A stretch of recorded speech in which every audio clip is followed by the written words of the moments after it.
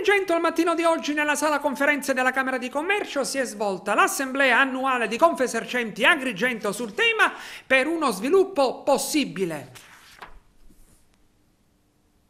L'assemblea annuale è un momento... Indubbiamente c'è un prima e un dopo del Covid. Oggi noi riflettiamo sul, sul dopo Covid. Bilancio è difficile tracciarlo, 25 mesi di crisi devastante che ci, ci, portano a discutere di una ripresa, di una ripresa complicata se non difficile, perché eh, chiudere è facile, con una firma su un DPCM si chiude, riaprire e eh, far rialzare le saracinesche, rimettere in moto quella che è l'economia di una città, nel caso di Agrigento, è un, un argomento molto complicato. Ecco, noi oggi rifletteremo su questo, rifletteremo su questo eh, eh, patto di condivisione che deve necessariamente nascere con le amministrazioni comunali.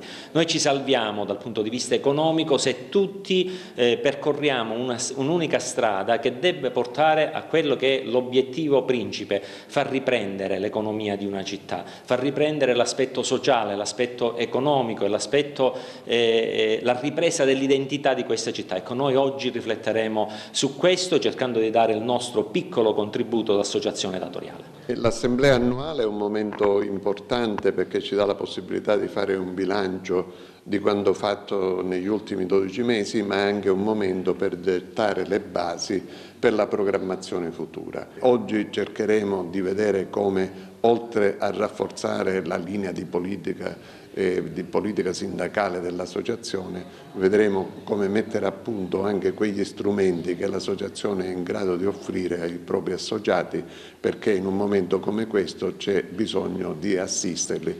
Lo abbiamo fatto durante la pandemia anche con un supporto di tipo psicologico, oggi speriamo di farlo attraverso l'utilizzo delle misure che il governo nazionale e regionale pongono in campo per poter sollevare le imprese da questo stato di prostrazione.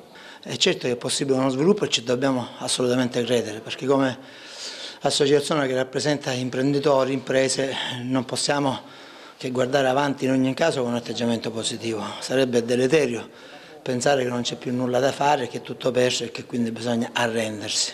Non bisogna assolutamente arrendersi, bisogna programmare, bisogna sviluppare, bisogna chiedere a chi ci amministra e chi ci governa politiche forti, importanti nei, confr nei confronti delle imprese per fare in modo che le grandi potenzialità che questo, questa terra ha, che ad esempio la provincia di Reggento ha, possano compiutamente svilupparsi nei prossimi anni. Quindi chiediamo allo Stato e alla Regione, ma anche ai Comuni, politiche di lungo respiro che incoraggiano gli imprenditori ad investire.